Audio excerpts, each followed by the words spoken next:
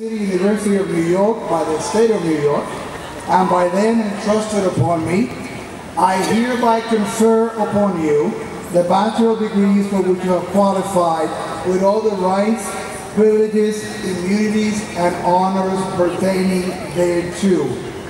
Graduates, now is the moment. You can now switch your tassels from left to right.